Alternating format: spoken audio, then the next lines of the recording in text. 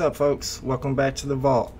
We got Comic Con coming up this weekend, and VeVe's recent announcement with Marvel has us thinking about what are comic books going to look like when they hit VeVe as NFTs.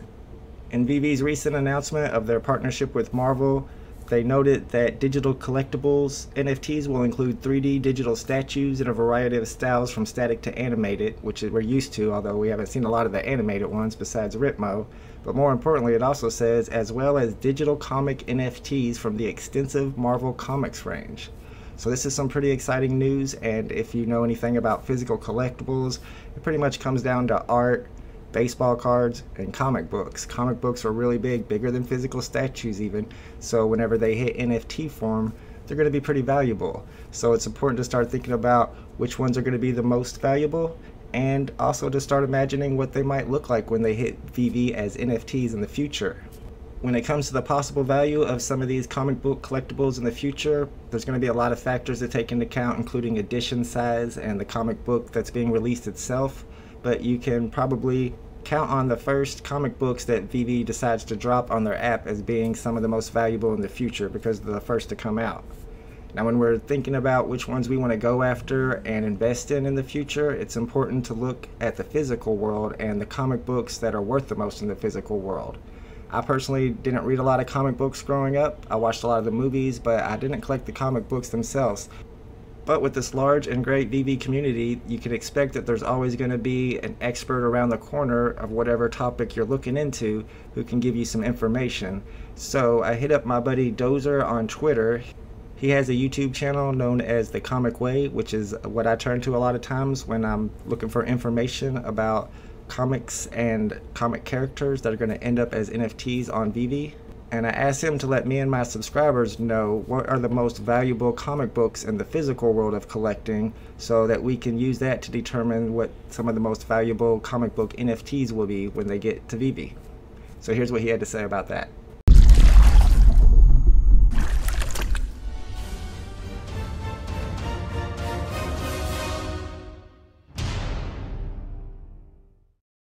This is Dozer, your favorite comic book guru. Check this out. It's Comic Con week. I'll be showing you guys the top three most valuable comics of all time, and this is number three. Hold it right there, Buster. The Joker.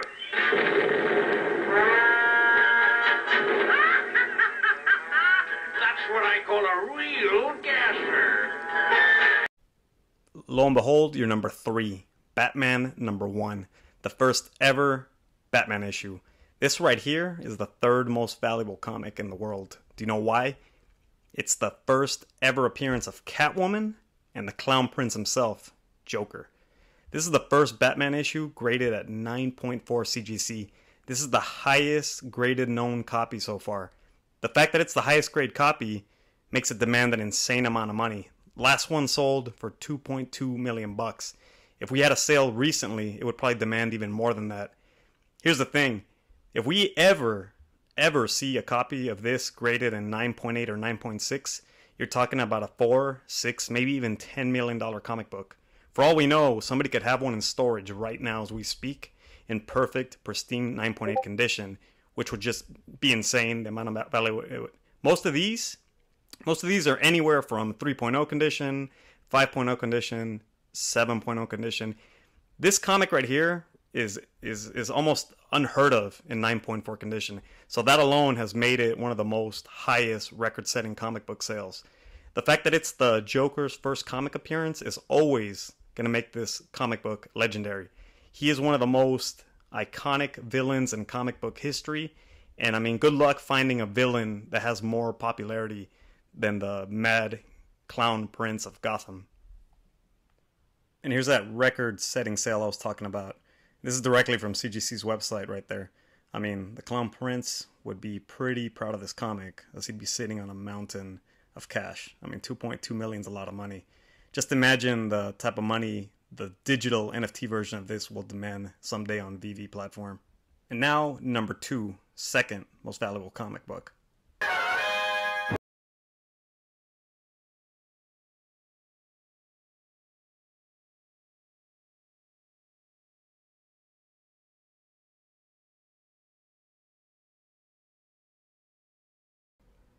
Behold the first comic book appearance of Batman. This is it. This is the very legendary first comic book appearance of the Dark Knight himself. Detective Comics number 27. One of the most recognizable comic covers in history. So check this out. It could be number one, but it's going to sit at number two because the highest graded copy of this comic is a CGC 9.2, and nobody knows where it is. If that comic ever comes out into the light of day, it could demand anywhere from four to six to ten million bucks, and that's not an overstatement because right here the record sale is a 1.5 million bucks for a graded one that wasn't even that good. It's a 7.0 CGC. So if that's what that one demanded, just imagine what a 9.2 CGC would demand for this comic, which is by most people considered the most important comic book of all time. And here we go, the king of the hill and the one that reigns supreme, your number one. Faster than a speeding bullet. More powerful than a locomotive.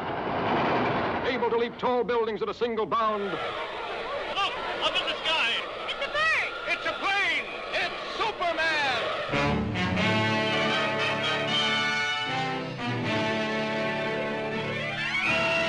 This amazing stranger from the planet Krypton, the Man of Steel, Superman. Empowered with X-ray vision, possessing remarkable physical strength, Superman fights a never-ending battle for truth and justice, disguised as a mild-mannered newspaper reporter, Clark Kent. So, most expensive comic of all time, first appearance of the man himself, Superman, the Man of Steel. This right here is a beautiful copy, the highest known graded copy of Action Comics number one, graded at 9.0 CGC. This one sold for over 3 million bucks, but that was a sale in the past. If this comic got sold right now, it is not out of reach that it could hit 4 million bucks on a sale. I mean, that's insane. This cover here, this is basically what started it all. Action Comics number one started this whole comic culture we have. And right here, this same copy I'm talking about, believe it or not, this is the one that was actually bought and owned by Nicolas Cage at one point. You know, he saw this and went like, "What? What a beautiful comic! I, I want that as part of my collection. You know, it's going to be worth millions. This thing is going to keep flying. It's going to keep crushing it." The last record, 8.5 CGC, sold for 3.25 million. So, like I said, the other one was a 9.0, but it sold before that one. It would sell for even higher. This comic is it. This is what gave us Comic Con. So I am pumped. I know you guys are pumped. I cannot wait for Comic Con. Don't forget to subscribe. This is the way. Those are out. So now that we have a good idea of what kind of comic books we're going to be investing in on VeVe, it's fun to think ahead about what the comic books as NFTs on VeVe might look like. And a good example is the Bloodlines comic book um, from Terra Virtua that I've mentioned on my channel a couple of times. I've purchased three of these NFTs. They're all the same comic book but with different animated covers. And once you own them and click into them and you can read the comic book, which I've shown before and it's pretty cool to look at, but there's also some cool abilities that you can do with these comics that you might be able to do with some of the Marvel comics in the future. The first thing that you're able to do is to remove all of the text and just look at the pictures, the whole comic book that way, which is kind of nice. Also, there's an option on Terra Virtua's graphic novel reader where you can click the pencil button and take away all of the animation and just take it down to the original pencil etchings of the comic book, which is really cool to look at. And you can go through and look at each page as it was originally designed, I guess, before it was colored and text was added to it. So that's something that you may be able to do to Marvel NFT comic books on the VeVe platform in the future. So let's take it a little further and imagine what it would be like to read our Marvel comic book NFT in the VeVeVerse in virtual reality in an immersive environment. This is a free app on Oculus Quest that you can download called Sphere Toon. And like Crypto Crowns always says in his videos, if the technology already exists, it's not hard for VeVe to acquire it and implement it. It's just that certain platforms focus on certain things first, and they've gone for the licenses and have done a great job of securing really great licenses and bringing a lot of different types of collectors into the platform. And so now that this technology exists, it's not going to be hard for them to implement their NFTs, like their comic books in the future, into stuff like Sphere Toon here. So let's take a look at what it would be like to read a comic book in virtual reality. Alright guys, so I recorded this this morning. You can see me up there in the top left hand corner and uh, selected a VR comic called Supernatural Girl by Harang. And of course, you have to download it first whenever you get in there. And as I was downloading, I looked around at the environment a little bit just to show you where it looks like you're sitting on the beach and stuff. It's pretty cool. And this video is about eight minutes long, the comic book. So this is the end of my video. If you don't want to listen to the whole comic book after you look at it, check it out a little bit, feel free to exit out or whatever. And I'll go ahead and read the whole comic book for anybody who wants to hear the story. Alright, so this is a boy and he says here, I played the game till dawn yesterday and oh, this class is so boring. And I'm sitting here and I can look around the classroom and it's like I'm sitting there in the immersive environment. He's getting sleepy. He says, my eyes are falling shut. Uh, no, I can't make it. Oh, I can make it. He's trying to stay awake in class, but he played video games all night, all night last night, and I, he's out. He fell asleep. And then he wakes up and he sees this girl, and she's like, hmm? You surprised me. How can you move? Hmm? What are you talking about? It was strangely quiet. Maybe it doesn't work on someone who is asleep? Everyone looked perfectly still as I looked around as if the time was stopped. He's looked around and the time has stopped everywhere. You can imagine what reading a Marvel comic like this would be. With a very confused look, she headed to her seat. Time's up now. And then the time started running again. Now I have a controller in my hand. Every time I click the button, it moves to the next scene or the next paragraph sentence. So she and I shared a secret together. And that's the title, Supernatural Girl. It's pretty cool here. I could look around the room still and see the room through the words. Day two. Can you really stop the time? Hmm, how do I explain this? More like within a radius of 100 meters. Then those who are near the radius must know that people are stopped, right?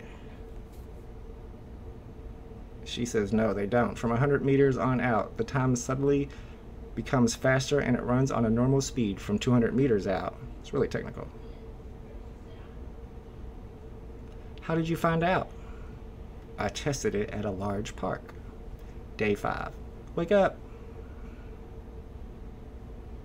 She always popped up on my face and I was like, whoa, looks like she's right there. Since then, she stopped the time and woke me up every time I fell asleep. They started partying around the class while everybody else is sitting there. Day seven, he's standing on the table, having a good old time. It was a pretty interesting comic book. It was an amazing experience to hang out in a world where everything stopped. Day 15. Can you stop the time forever or as much as you want? No, I can only stop the time for about three minutes. I feel it when it's coming. What about the surveillance cameras?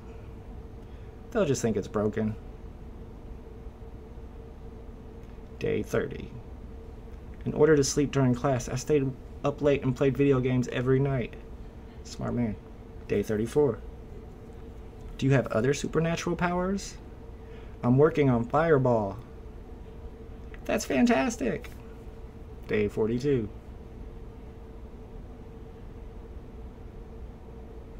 Looking around the room.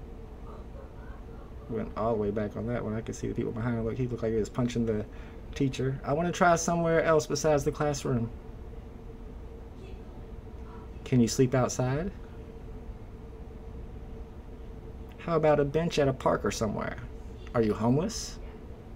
That was weird. I didn't quite get that one. Day 72. Can you use Fireball now? Hi! You really believe that? Troll. What? Did you lie to me? Duh, this isn't a video game. I was really expecting that. You disappointed me. I can still use Thunderbolt, though. Stop lying. Day 103.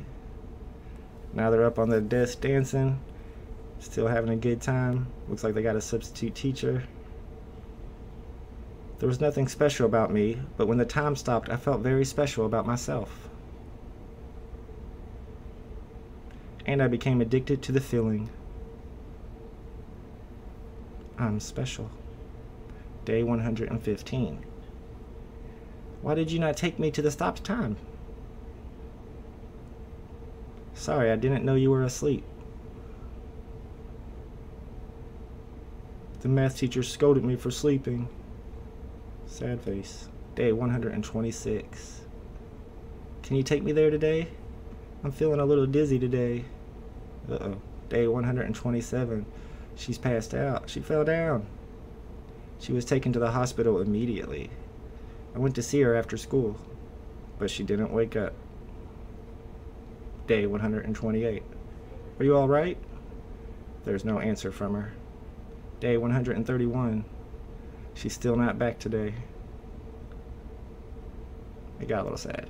Was the supernatural power putting too much pressure on her? Was I asking her too much? Day 132. I'm starting to worry that she might never come back. Day 159. Is her spirit traveling to another world, maybe? If anyone's could, it would be hers. Day 160. The memory with her started fading away. Did it really happen? Day 163. It's winter break now, but I'm not happy about it. Day 164. I think I'm the only friend still visiting her. Day 216. The break is over, but her seat is still empty. Day 270. A new semester is starting. I don't even see her seat anymore. Day 272. I saw her in my dream. Hey, it's been a while. How are you? I had a lot of questions to ask, but I just couldn't talk to her. Sorry, you can't talk, right? It's because you're dreaming. I came here because I had to tell you something. I think I'm being punished. The time was still passing even when I stopped it. People I had frozen lost as much of their own time as I had frozen for myself. I knew that shouldn't I knew I shouldn't be doing that. I was stealing it from them, but I couldn't help myself. I wanted to see the one that I liked up close, all. At first, it was just good looking at him. But when he woke up, I was too happy that we could spend our time together just us. I loved it when everything stopped except for us. It's a love story. Oh. Or is it? Memories. So I kept stopping the time. I must have crossed the line. But I was happy. And she left with the memories that only the two of us shared. Day 273. She's probably on a journey to a new world that no one has ever been to. I know it because she's the supernatural girl. The end. So again, this is something you can imagine possibly reading a Marvel comic book or a DC comic book in the future on VeVe in the VeVe verse in virtual reality so that you're immersed into the actual environment and you can experience it in a fun new way. Alright everybody, that's all I got for you. Thanks for watching and good luck this weekend with the Comic Con drops. See y'all next time. Bye bye.